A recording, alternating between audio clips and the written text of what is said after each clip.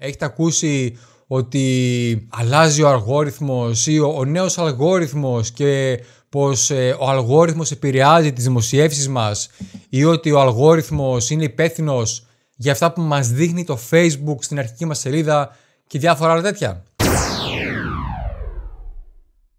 Έχετε αναρωτηθεί ποτέ πώς μπορείτε να παρακάμψετε τον αλγόριθμο και τι χρειάζεται να συμβαίνει για να εμφανίζονται οι δημοσιεύσεις σας σε περισσότερους ανθρώπους; Λοιπόν, στο σημερινό μάθημα λοιπόν θα μιλήσουμε για τον αλγόριθμο του Facebook, πώς λειτουργούσε παλιότερα, πώς λειτουργεί σήμερα, 2020, και αν και πώς μπορείτε να χακάρετε τον αλγόριθμο του Facebook ώστε να φέρουν τη δημοσιεύση σας σε όλο και περισσότερους ανθρώπους.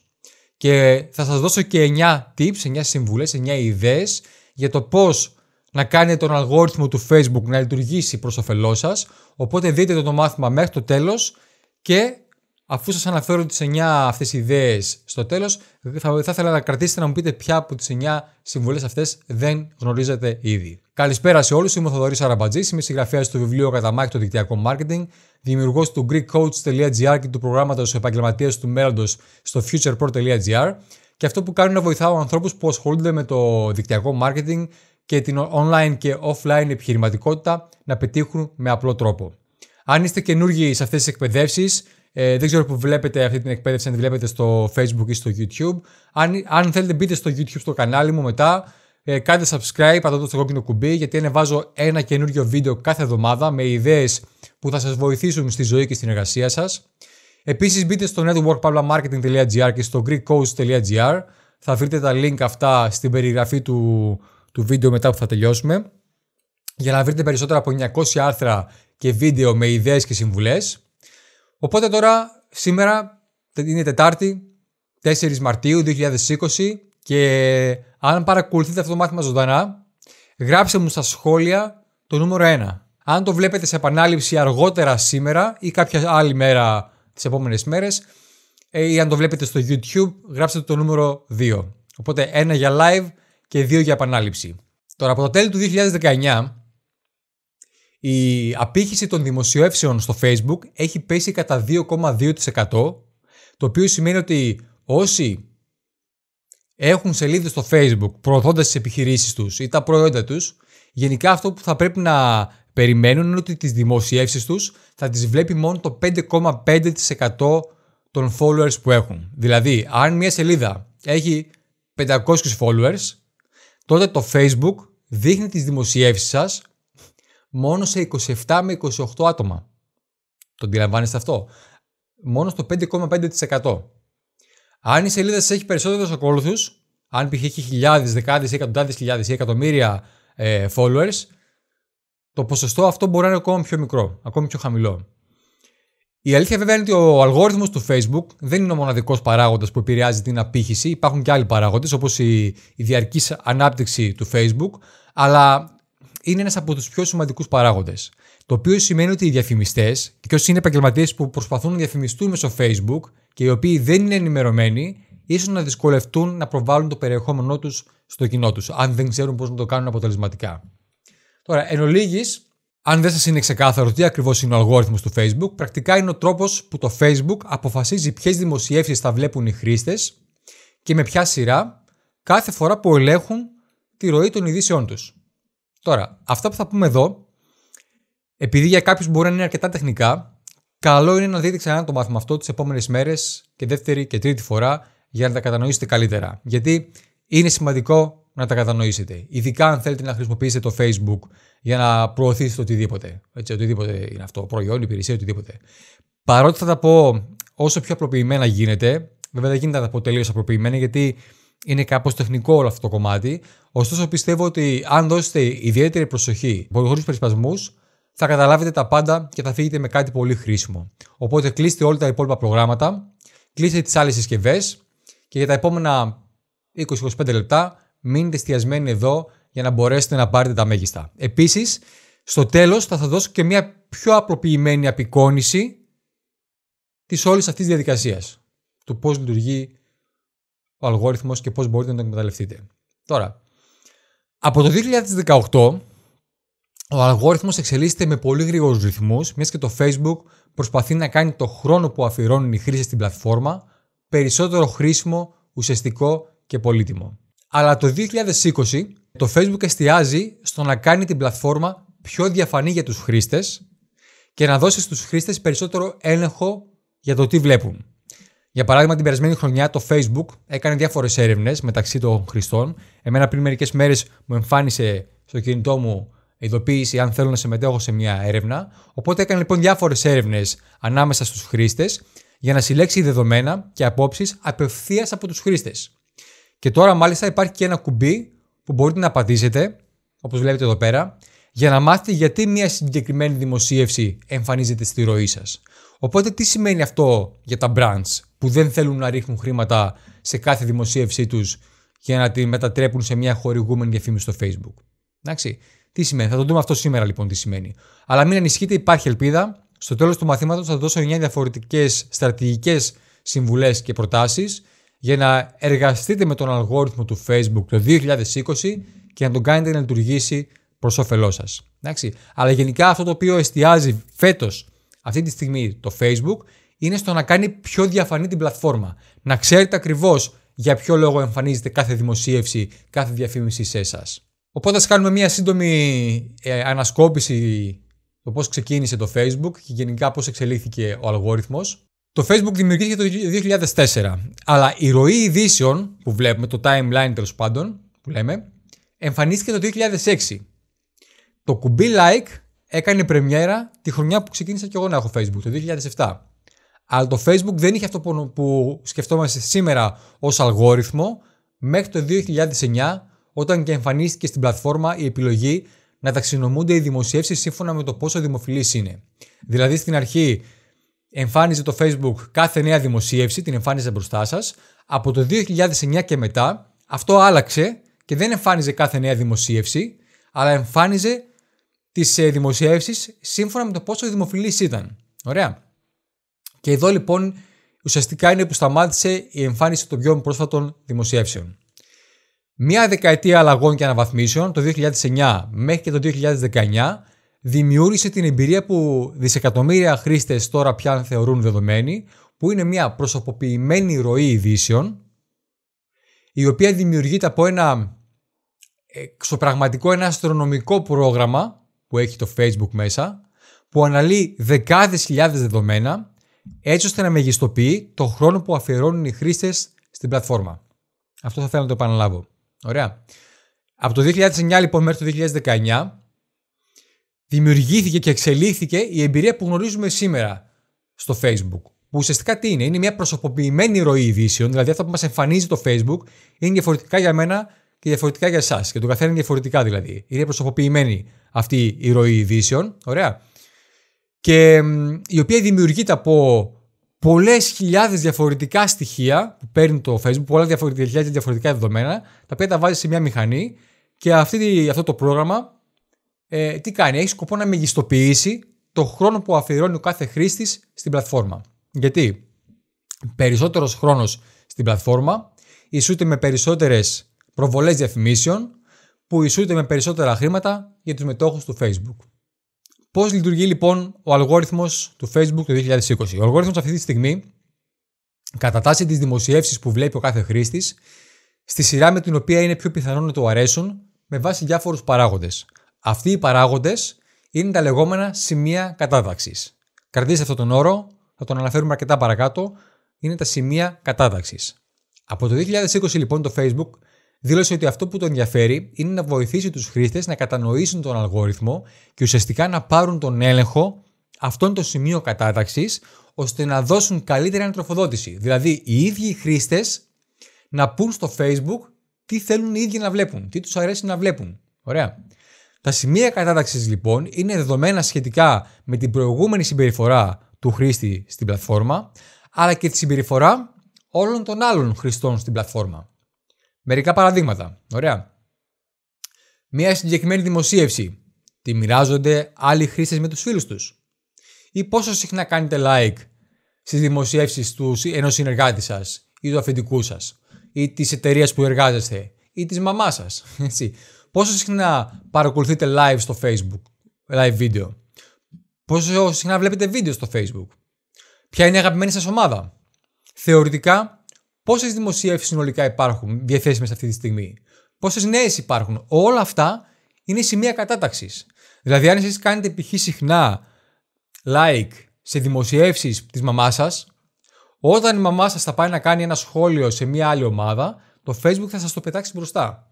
Γιατί αυτό το θεωρεί ως ένα σημείο κατάταξης. Ωραία. Νομίζω καταλαβαίνετε την ιδέα.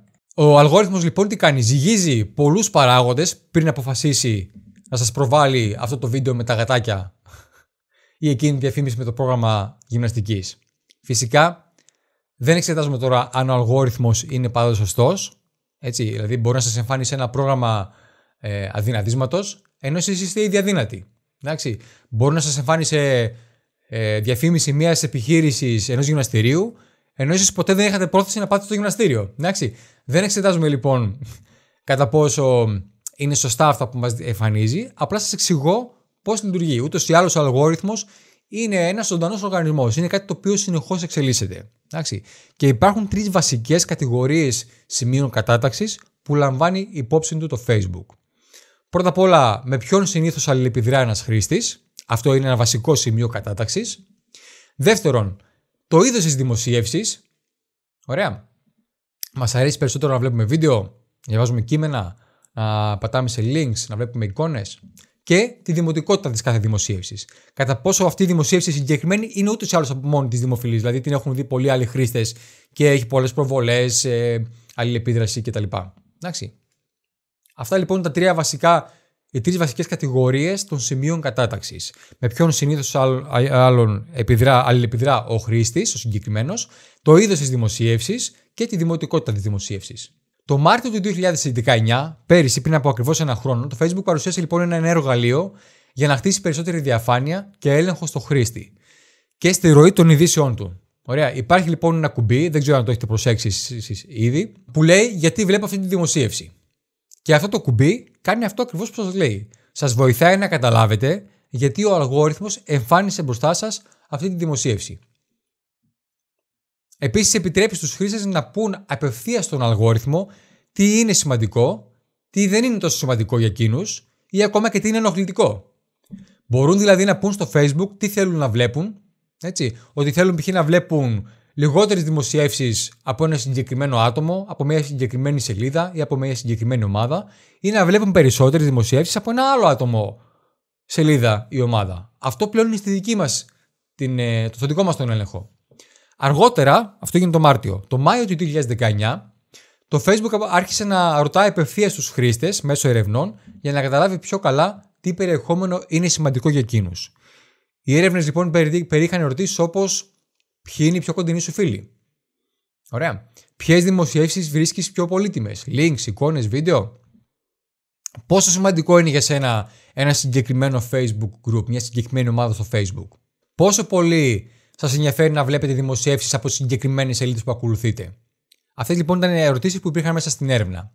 Το Facebook λοιπόν τι έκανε, χρησιμοποίησε όλες αυτές τις απαντήσεις για να αναβαθμίσει τον αλγόριθμο με βάση τα μοτίβα που συμπέραν από την έρευνα. Για παράδειγμα, οι σελίδες και οι ομάδες που οι άνθρωποι είπαν ότι είναι πιο σημαντικά για αυτούς ήταν συχνά αυτά που ακολουθούσαν για περισσότερο καιρό, για πολύ καιρό.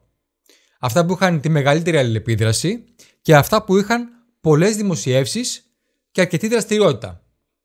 Άρα αυτά, σύμφωνα με την έρευνα, ήταν σημαντικά για τους χρήστες. Τώρα λοιπόν που ελπίζω να κατανοήσετε λίγο καλύτερα πώς λειτουργεί ο Facebook, ο, ο αλγόριθμος και πώς σκέφτεται ο αλγόριθμος, ας δούμε τώρα 9 ιδέες, 9 συμβουλές, 9 tips για να κάνει τον αλγόριθμο του Facebook να λειτουργήσει προς όφελός σας. Έχοντας πει λοιπόν όλα αυτά, τι μπορεί να κάνει ένας επαγγελματίας ή ένας που θέλει να προωθήσει ένα συγκεκριμένο brand; Μια εταιρεία, ένα προϊόν, μια υπηρεσία, είτε πρόκειται για ένα σύλλογο, είτε πρόκειται για ένα μουσικό συγκρότημα, είτε ένας καλλιτέχνης ή οτιδήποτε. Ένας που έχει μια σελίδα την οποία θέλει να προωθήσει πιο αποτελεσματικά. Τι μπορεί να κάνει για να βεβαιωθεί ότι η στρατηγική που ακολουθεί στο Facebook είναι εναρμονισμένη με τις προτεραιότητες που βάζει ο αλγόριθμος του Facebook; Και αν θέλετε, γράψτε μου στα σχόλια, είτε το βλέπετε live, είτε το βλέπετε σε επανάληψη, εσείς τι προωθείτε στο Facebook, στα social media; Κάποια προϊόντα, κάποιες υπηρεσίες, κάποιο blog, κάποια επιχειρηματική ευκαιρία, κάποιο σεμινάριο, κάποιο brand, κάποια επιχείρηση. Τι είναι αυτό που σας ενδιαφέρει να προωθήσετε εσείς στα social media και στο Facebook; Γράψτε μου στα σχόλια αν θέλετε. Οπότε ας ξεκινήσουμε με τις 9 ιδέες και με την πρώτη ιδέα, η οποία είναι η εξής. Ωραία. Βλέπω εδώ πέρα blog, έπιπλα, προϊόντα και επαγγελματική ευκαιρία, προϊόντα και δικτύωση, πολλά likes, τον εαυτό μου, ok, branding επιχειρήσεων, πολύ ωραία. Τέλεια. Σεμινάρια, προϊόντα, ok. Ωραία. Πάμε λοιπόν να δούμε 9 ιδέες. Νούμερο 1. Σημειώστε, αν θέλετε. Ξεκινήστε συζητήσεις που κάνουν τους ανθρώπους να μιλάνε μεταξύ τους. Βλέπετε εδώ πέρα στο slide κάποιες δημοσιεύσεις, 30 σχόλια, 16, 15, 57 σχόλια, 37. Είναι κάποιες δημοσιεύσεις που έχω κάνει τις τελευταίες 15-20 μέρες, οι οποίες έχουν αλληλεπίδραση. Ωραία, έχουν, ξεκινάνε συζητήσεις μεταξύ των χρηστών.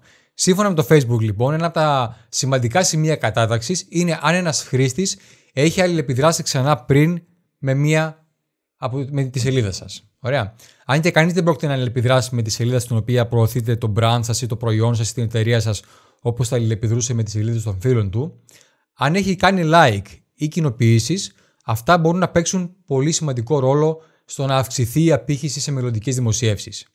Αυτό σημαίνει ότι χρειάζεται να κάνετε καλή δουλειά αρχικά πριν αρχίσει να αναγνωρίζει και να επιβραβεύει την αξία της σελίδας σας ο αλγόριθμος. Ωραία. Και όταν λέω να κάνετε καλή δουλειά αρχικά, δεν είναι να κάνετε δακρύβρεχτε δημοσιεύσεις μόνο και μόνο για να τραβήξετε το ενδιαφέρον. Και παρεμπιπτόντως να ξέρετε ότι ο αλγόριθμος μπορεί να αναγνωρίσει αν οι δημοσιεύσεις σας είναι επιτιδευμένες. Αν δηλαδή προσπαθείτε να εκμεύσετε likes, έτσι, αν, αν το κάνετε δηλαδή με αυτόν τον σκοπό, το αναγνωρίζει αυτό το Facebook. Ωραία. Και θα υποβαθμίσει την κατάταξη της ε, δημοσίευσή σας και ίσως και της ίδιας σας της σελίδας. Εντάξει. Για να μπορέσετε λοιπόν να κερδίσετε περισσότερη ελεπίδραση, θα πρέπει βασικά να είστε αληθινοί. Ίσως να δείχνετε περιέργεια ή να, να ανεβάσετε κάτι αστείο ή κάτι ενδιαφέρον ή κάτι χρήσιμο, κάτι πρακτικό, κάτι που να εμπνέει και να παρακινεί. Ίσως σε επόμενο μάθημα, αν θέλετε, σε επόμενο βίντεο, να μιλήσω για τα είδη των δημοσιεύσεων που μπορούν να αυξήσουν την αλληλεπίδραση που έχετε στο facebook, σχόλια και τέτοια. Αν θέλετε κάτι τέτοιο, γράψτε μου ένα ναι στα σχόλια, ότι θα θέλατε κάτι τέτοιο και να θυμάστε ότι δεν χρειάζεται να δημιουργήσετε αντιπαραθέσεις ή ίντριγκες ή να γράφετε για θέματα που δημιουργούν πόλωση για να έχετε αλληλεπίδραση και σχόλια. Το να γράψετε κάτι που κάνει επίκληση στο συνέστημα συνήθως είναι καλό. Άρα λοιπόν το πρώτο για να κάνετε τον αλγόριθμο να δουλέψει για εσάς είναι να δημοσιεύετε πράγματα που κάνουν τους ανθρώπους να μιλάνε μεταξύ τους, να σχολιάζουν δηλαδή. Νούμερο 2. Δημοσιεύστε όταν το κοινό σας είναι online. Ένα άλλο σημείο κατάταξης που έχει σημασία για τον αλγόριθμο είναι η συχνότητα. Να έχετε στο μυαλό σας το εξής ότι το νεότερο, το φρέσκο, είναι καλό, το τώρα είναι καλύτερο. Δηλαδή, αν ανεβάσετε κάτι στις 6 ώρα το πρωί και το κοινό σας είναι online συνήθως στις 9 με 10 το πρωί, σίγουρα αυτό που ανεβάσατε πριν 2-3 ώρες είναι φρέσκο, έτσι, είναι νέο, είναι καινούριο, ωραία αλλά είναι προτιμότερο να ανεβάσετε κάτι στις 9 ή 10 το πρωί για να το δουν τώρα. Το τώρα είναι καλύτερο. Ναι, αλλά πότε βρίσκεται το κοινό σας online; Σύμφωνα με μετρήσεις, για επιχειρήσεις προς επιχειρήσεις, δηλαδή εσείς έχετε μια επιχείρηση, ωραία, και προωθείτε προϊόντα, υπηρεσίες προς άλλους επιχειρηματίες, προς άλλους επαγγελματίες, Δημοσιεύσεις που αφορούν τον brand σας αποδίδουν καλύτερα μεταξύ 9 το πρωί με 2 το μεσημέρι κάθε Τρίτη, Τετάρτη και Πέμπτη. Δηλαδή, αν έχετε μια επιχείρηση ή ένα προϊόν ή υπηρεσία που το μαρκετάρετε σε άλλους επιχειρηματίες, είναι προτιμότερο να δημοσιεύετε κάθε Τρίτη, Τετάρτη και Πέμπτη μεταξύ 9 το πρωί και 2 το μεσημέρι. Αν εμπορεύεστε προς καταναλωτές, για επιχείρηση προς καταναλωτές δηλαδή, δημοσιεύσεις που αφορούν τον brand σας λειτουργούν καλύτερα το μεσημέρι, κατά τις 12 δηλαδή, κάθε Δευτέρα, Τρίτη και Τετάρτη. Άρα λοιπόν, αν θέλετε να κάνετε πελάτες, απλούς καταναλωτές και όχι άλλους επιχειρηματίες, τότε η δημοσιεύση σας χρειάζεται να είναι κατά κανόνα το μεσημέρι, κατά τις 12, κάθε Δευτέρα, Τρίτη και Τετάρτη. Αν έχετε μια σελίδα στο Facebook, όπως βλέπετε εδώ πέρα, μπορείτε να δείτε τα στατιστικά σας, πότε αλληλεπιδρά και πότε είναι πιο συχνά το κοινό σας online και να κάνετε δημοσιεύσεις τις ώρες που είναι συνδεδεμένοι οι χρήστες σας στο facebook. είναι να προγραμματίσετε τις δημοσιεύσεις σας για εκείνες τις μέρες και τις ώρες. Γιατί να θυμάστε ότι όταν τις βλέπουν τώρα, είναι πολύ καλύτερα. Μόλις ανεβάζετε δηλαδή. Εδώ πέρα βλέπετε για παράδειγμα, δεν ξέρω αν μπορείτε να το καταλάβετε, λέει δημοσιεύσεις. Δηλαδή λέει εδώ κατά τις 9, 10, 11, κατά τις 12 με 1 που βλέπετε εδώ την καμπύλη είναι οι περισσότεροι χρήστες μέσα στη δική μου τη σελίδα. Σωστά. Ο Κωνσταντίνος Σοφωτιάδης λέει branding επιχειρήσεων Τρίτη, Τετάρτη, Πέμπτη. Σωστά. Μεταξύ 9 με 2. Και ακόμα καλύτερα, Κωνσταντίνε, μπορείς να μπεις στη σελίδα σου στο Facebook, να πας στα, στα στατιστικά, στις δημοσιεύσεις και να δεις πότε είναι το κοινό σου κυρίως online και πότε αλληλεπιδρά κυρίως σε αυτά που δημοσιεύεις. Οπότε με βάση αυτό να προγραμματίσεις τις δημοσιεύσεις σου, να τις κάνεις εκείνες τις ώρες που είναι το κοινό σου online. OK. Okay. Μην τις κάνετε το προηγούμενο βράδυ για να τις δουν την επόμενη μέρα το μεσημέρι. Νούμερο 3. Ποτέ μην ανεβάζετε δημοσιεύσεις που θα σας υποβαθμίσουν. Ξέρω ότι αυτό δεν θα το κάνετε εσείς, δεν θα το κάνετε, αλλά και πάλι για να είστε σίγουροι ότι δεν το κάνετε άθελά σας, μερικές κατηγορίες περιεχομένου που το Facebook συγκεκριμένα δηλώνει ότι αυτές θα μειώσουν την κατάταξη της σελίδας σας είναι οι εξής. Είναι links σε websites που αντιγράφουν ή κλέβουν περιεχόμενο και που δεν προσφέρουν κάποια αξία. Περιεχόμενο που βρίσκεται στα όρια του να είναι προσβλητικό ή ακόμα και απαγορευμένο, παραπληροφόρηση και fake news, κεφαλαία, θαυμαστικά, διαδώστε και τέτοια.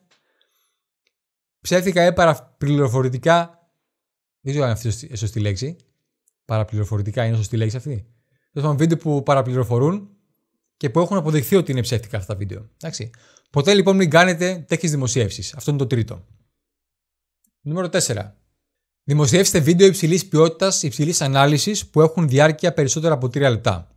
Το Μάιο του 2019, το Facebook ανακοίνωσε ότι η ροή ειδήσεων θα αρχίσει να εμφανίζει όλο και περισσότερα ποιοτικά πρωτότυπα βίντεο. Όταν λέει πρωτότυπα, εννοεί βίντεο που θα φτιάξει ο ίδιος ο χρήστη με δικό του περιεχόμενο και όχι κάτι που αναδημοσίευσε από κάπου αλλού, το κατέβασε από κάπου και το ανέβασε στη σελίδα του. Εντάξει.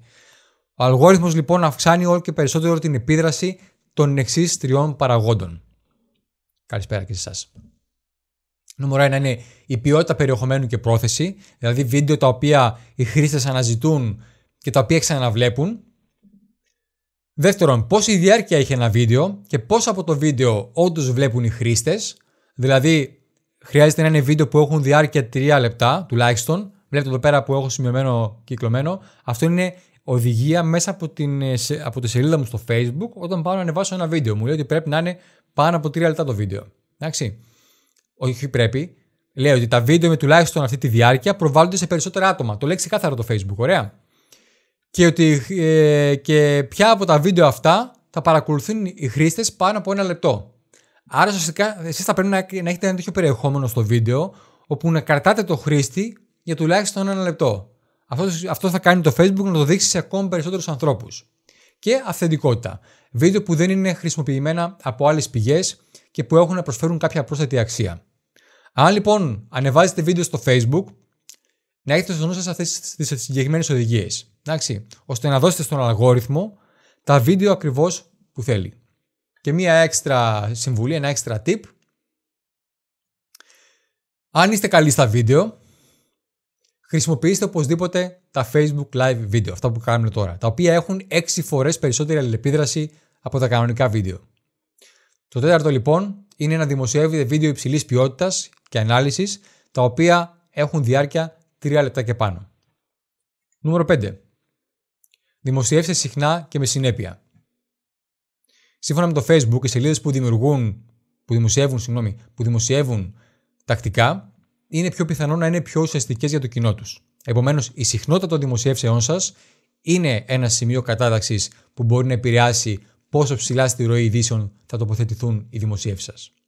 Κάτι που βοηθάει πολύ σε αυτό είναι το να έχετε ένα ημερολόγιο ε, με το τι πρόκειται να δημοσιεύσετε και πότε. Εγώ προσωπικά έχω ένα τέτοιο ημερολόγιο που χρησιμοποιώ και με έχει βοηθήσει στο να μπορώ να προγραμματίζω από πριν στην αρχή του μήνα τι δημοσιεύσεις θα κάνω. Αν θέλετε να ετοιμάσω ένα τέτοιο ημερολόγιο για την επόμενη χρονιά, γράψτε μου ένα ναι, θα το ήθελα στα σχόλια. Δηλαδή να φτιάξω ένα ημερολόγιο στο οποίο να έχω συγκεκριμένα ποιες δημοσιεύσεις μπορείτε να κάνετε ποιες ημέρες και να σας δίνω ακόμα και προτάσεις για το τι ακριβώς να δημοσιεύετε. Αν θέλετε να κάνω κάτι τέτοιο, γράψτε μου ναι, θα το ήθελα στα σχόλια. Επίσης, αν θέλετε, ε, μπορώ να σας στείλω τώρα το, ε, ένα template, ένα πρότυπο δηλαδή ημερολόγιο. Είναι άδειο, απλά έχει με τις ημερομηνίες και πού μπορείτε να δημοσιεύετε τι, το οποίο μπορείτε να χρησιμοποιήσετε για να προγραμματίζετε τις δικές σας δημοσιεύσεις. Είναι αυτό το link που βλέπετε εδώ πέρα, greekcoach.gr κάθετος cc template, content calendar template.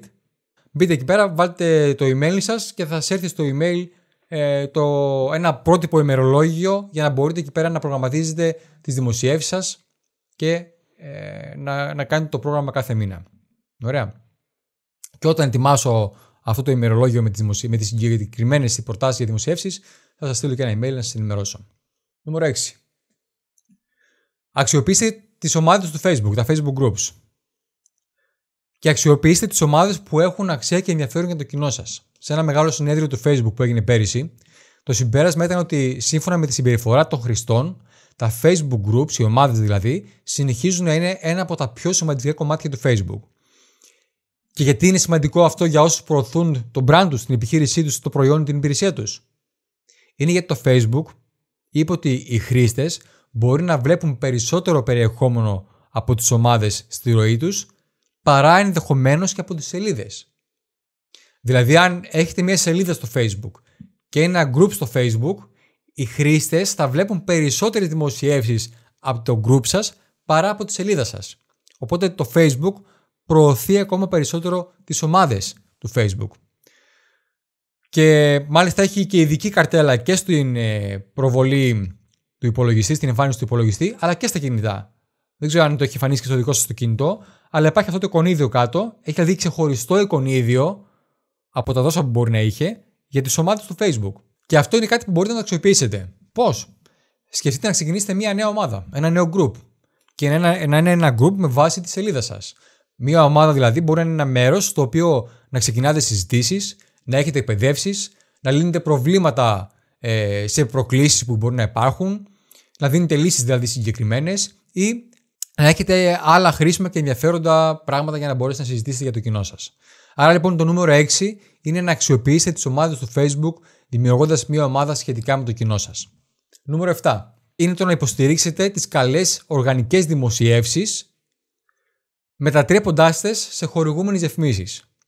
Σίγουρα το, το καλό οργανικό περιεχόμενο μπορεί να εμβαθύνει τις σχέσεις που έχετε με το κοινό σας. Οι διαφημίσεις στο Facebook παραμένουν ο καλύτερος τρόπος για να επεκτείνετε την προβολή του brand σας των προϊόντων σας, των υπηρεσιών σας στους 2,4 εκατομμύρια πιθανούς πελάτες που χρησιμοποιούν το Facebook. Αν λοιπόν έχετε κάνει μια δημοσίευση η οποία τα πήγε καλά, χωρίς κάποια πρόοδηση από μεριά σας, ίσως να ήταν καλή ιδέα να επενδύσετε ένα ποσό 5, 10 ευρώ, 20 ευρώ, 50 ευρώ, αναλόγως στο μέγεθος της επιχείρησής και αναλόγως στο μέγεθος της προβολής που θέλετε να κάνετε. Στο να προωθήσετε αυτή τη δημοσίευση ακόμα περισσότερο. Αυτό όμως γίνεται να ξέρετε ότι γίνεται μόνο μέσω τη σελίδα σας.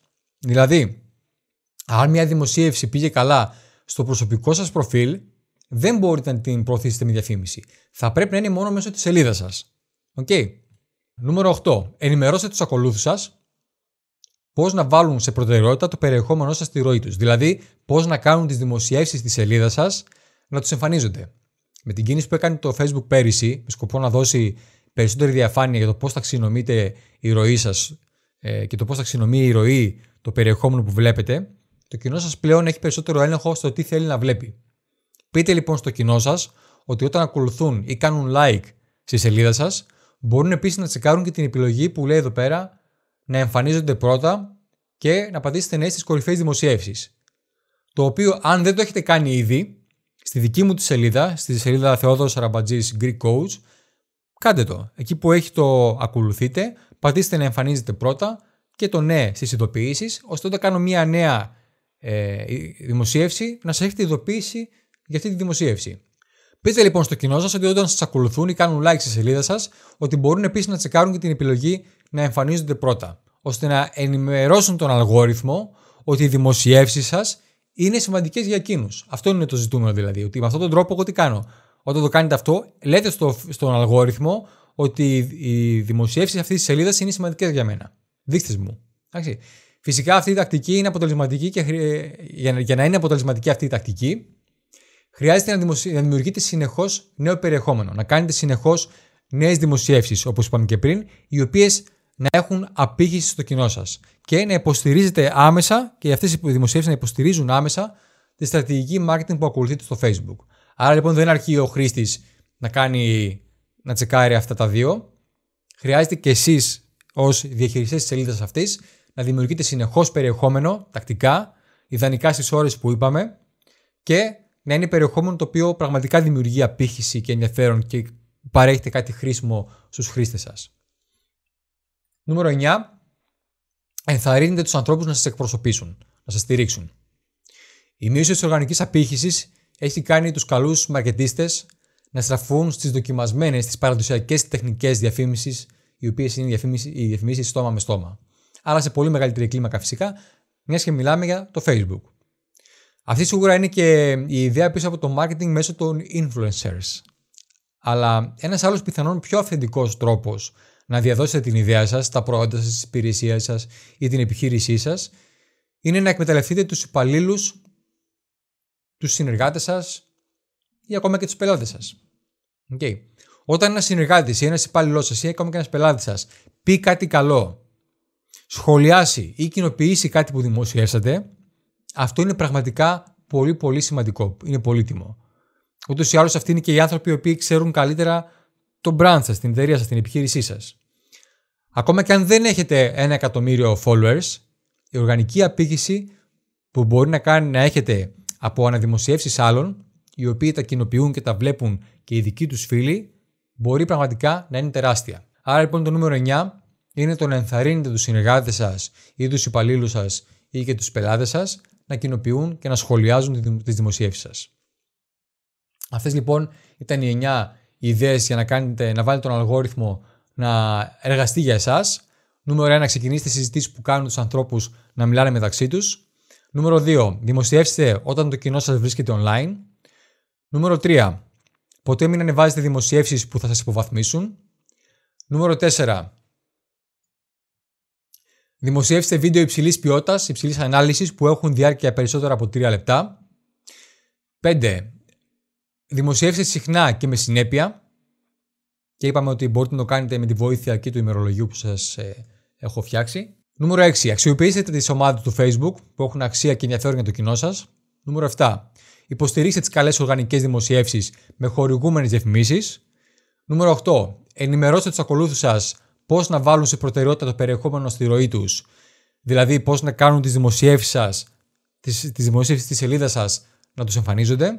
Και νούμερο 9, ενθαρρύνετε τους ανθρώπους να σας ε, προωθήσουν, να σας στηρίξουν, να σας εκπροσωπήσουν. Και κλείνοντας, θα ήθελα να συνοψίσω με πιο απλά λόγια πώς λειτουργεί όλο αυτό, με μια απλή απεικόνηση. Πριν όμως το κάνω αυτό, γράψτε μου στα σχόλια ποια από αυτές τις 9 ιδέες θα αρχίσετε να εφαρμόζετε άμεσα. Έτσι. Γράψτε μου στα σχόλια. Ποια ή ποιες ιδέες θα αρχίσετε να εφαρμόζετε άμεσα. Γράψτε μου ένα σχόλιο. Ωραία. Ο Τάσος λέει το να δημοσιεύει πιο συχνά και με συνέπεια. Okay. Αν και εσύ είσαι αρκετά συνεπής. Τάσο. Ο Κωνσταντίνος λέει όσο περισσότερες μπορώ. Ο Βασίλης λέει την 9.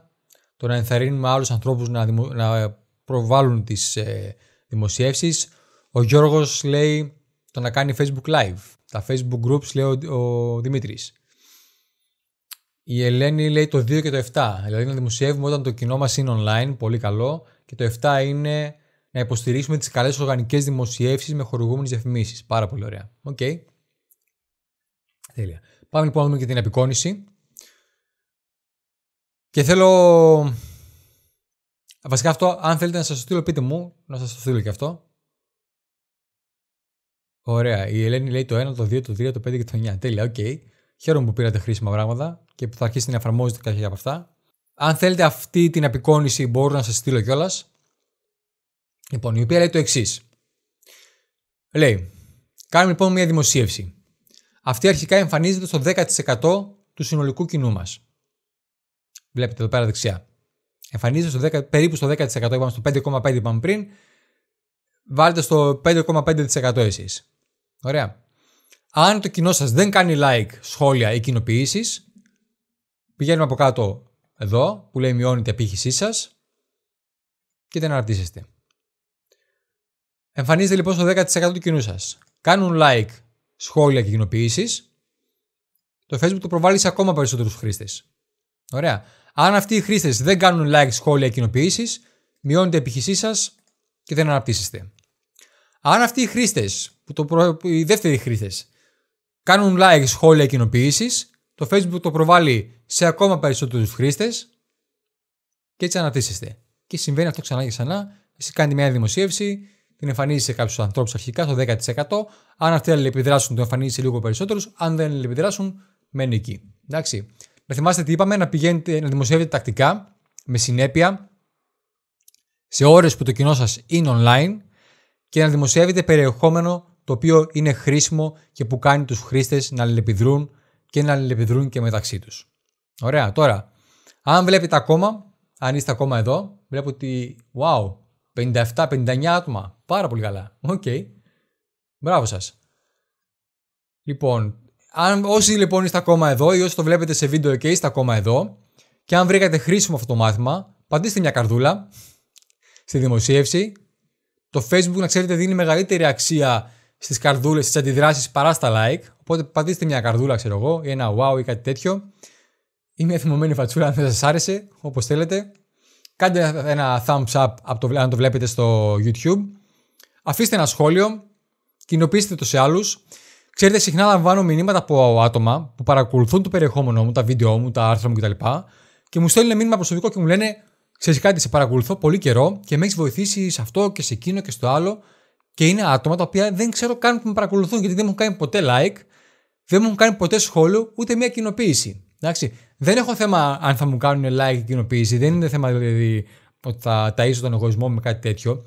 Το θέμα είναι ότι αν βρίσκεται κάτι χρήσιμο, είτε δικό μου, είτε και κάποιου άλλου, βάλτε μια καρδούλα εκεί πέρα και κάντε ένα σχόλιο ή κάντε μια κοινοποίηση, ταγκάρετε άτομα στα σχόλια κάτω, γιατί αν το κάνετε αυτό, βοηθάτε στο το Facebook, τι κάνει, να το εμφανίζει, να εμφανίζει αυτή τη δημοσίευση και σε ακόμα περισσότερο κόσμο, ώστε ακόμα περισσότεροι άνθρωποι σαν και εσάς να ωφελούνται από αυτές τι δημοσιεύσεις. Επίσης, εμφανίζει και σε εσάς περισσότερες τέτοιες δημοσιεύσεις.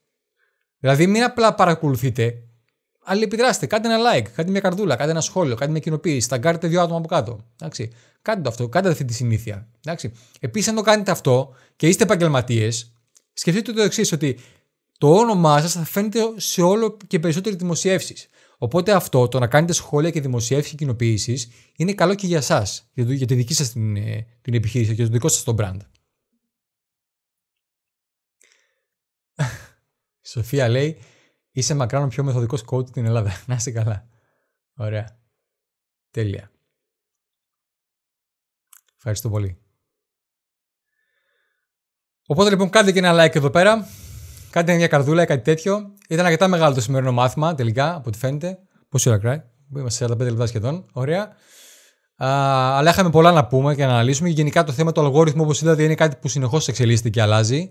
Επίσης, αν έχετε μια επιχείρηση ή ένα brand που θέλετε να προωθήσετε, ε, είναι κάτι που χρειάζεται να αφιερώσετε χρόνο για να το προγραμματίσετε, να προγραμματίσετε τις δημοσιεύσεις σας, να δείτε πότε θα δημοσιεύετε, τι θα δημοσιεύετε, να επιδράτε με το κοινό σας και να ακολουθήσετε την κατάλληλη στρατηγική. Σε αυτό λοιπόν προφανώς μπορώ να σας βοηθήσω και εγώ με δύο τρόπους. Πρώτον, μπορώ να σας βοηθήσω μέσω του προσωπικού coaching που κάνω. Μπείτε στο greekcoach.gr κάτω coaching και κλείστε μια προσωπική συνεδρία στρατηγικής μαζί μου για να ξεκινήσουμε την κατάλληλη στρατηγική για εσάς. Και δεύτερον, μπορώ να σας βοηθήσω μέσω ενός σεμιναρίου Internet Marketing που διοργανώνω το οποίο διάστημα, στο οποίο μπορείτε να συμμετέχετε με μια πολύ μεγάλη έκπτωση. Μπείτε στο greekcoach.gr κάτι το seminar, θα βρείτε το link και εδώ μπροστά που βλέπετε, αλλά και στα σχόλια σε λίγο. Ή στην περιγραφή του, της εκπαίδευσης, του μαθήματος. Στο σεμινάριο αυτό, μεταξύ άλλων, θα μιλήσουμε για το πώς μπορείτε να προωθήσετε οτιδήποτε μέσω Ιντερνετ, ακόμα και αν δεν έχετε κάποιο προϊόν ή υπηρεσία αυτή τη στιγμή και θέλετε να, κάνετε, να μπείτε στο κομμάτι του Ιντερνετ, θα μάθετε πώς μπορείτε να προωθήσετε οτιδήποτε στο Ιντερνετ και πώς κάνουμε αποτελεσματικό marketing και γιατί ουσιαστικά χωρίς αποτελεσματικό marketing, ακόμα και το καλύτερο προϊόν να έχουμε, την καλύτερη υπηρεσία να έχουμε, δεν μπορούμε να είμαστε ανταγωνιστικοί.